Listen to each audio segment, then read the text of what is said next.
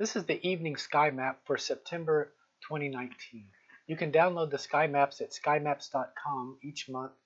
And this is the sky map for the northern hemisphere. You can also get sky maps for the southern hemisphere as well as, well as for equatorial regions.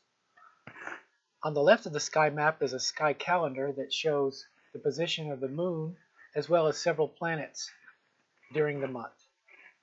Also, if there's any comets or other interesting meteor showers, this will be located on the sky calendar.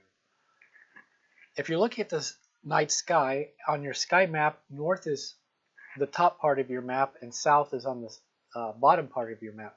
However, east is to the left and west is to the right.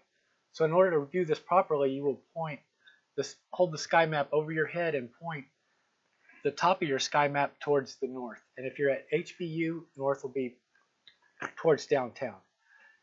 In that case, west will be to the left and east will be to the right like it should be. This blue band across the sky map is the Milky Way galaxy. You won't be able to see the Milky Way from HBU because of light pollution. You will see some brighter stars and planets will be located along this dotted line which is the ecliptic or the plane of the solar system. Right now we have Jupiter which is very bright as well as Saturn. Uh, if you can locate two planets or the moon, the moon will also be along the ecliptic. If you can locate two planets or the moon, then you can draw an imaginary line to find another planet. In this case, we have Neptune that is located in Aquarius.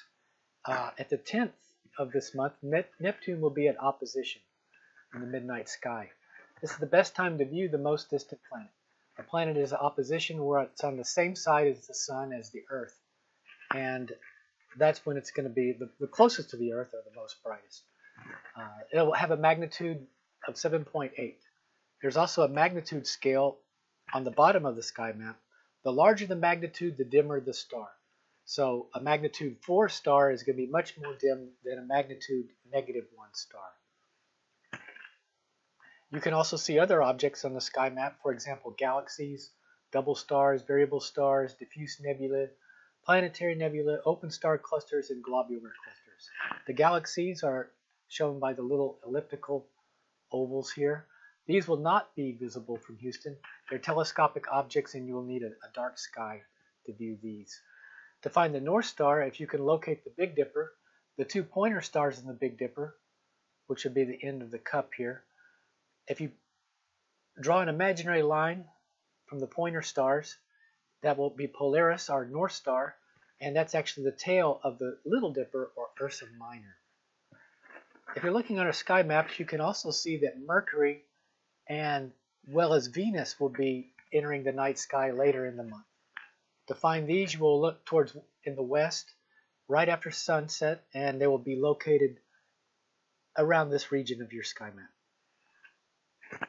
So your homework is to find Jupiter and Saturn on the Sky Map. You may also want to download the Sky View app for your Android or cell phone.